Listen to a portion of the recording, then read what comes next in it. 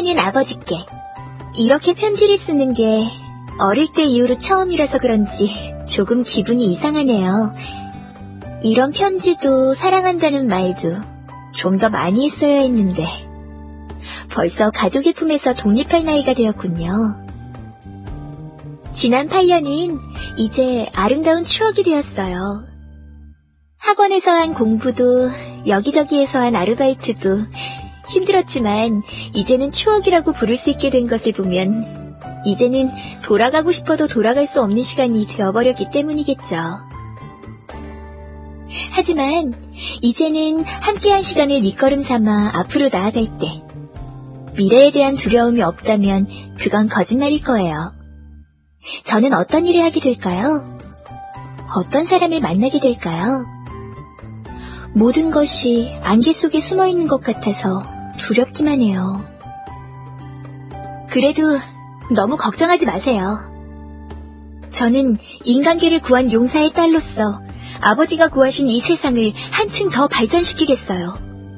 물론 제가 성공할 수 있을지는 모르지만 최선을 다하면 이룰 수 있다고 생각해요. 제가 이 꿈을 이룰 수 있도록 응원해주세요. 안녕. 요즘은 어떻게 지내니?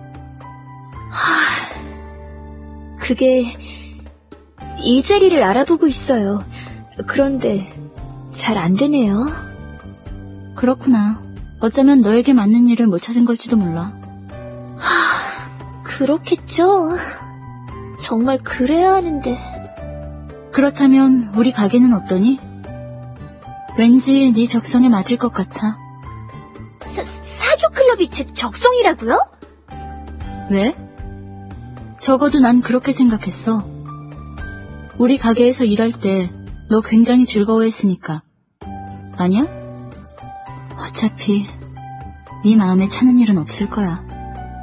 아무것도 하지 않는 것보다는 뭐라도 하는 게 낫지 않을까?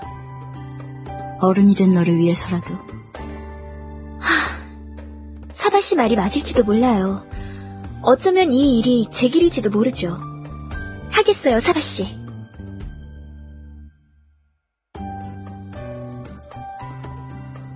사교 클럽에 취직한 아가씨는 단숨에 모든 손님에게 주목받는 종업원이 됐다. 은밀한 매력을 머금고 있는 그녀의 인기는 날이 갈수록 하늘로 치솟았다. 아가씨를 한 번이라도 만나본 손님들은 반드시 그녀를 다시 찾았다. 어두운 거리에 몸을 맡긴 채 술과 향락을 파는 일이 아가씨의 천직이었는지도 모른다. 이 매력도 영원하진 않겠죠. 그러니 젊었을 때 될 수 있는 한 많이 벌어둬야 해요.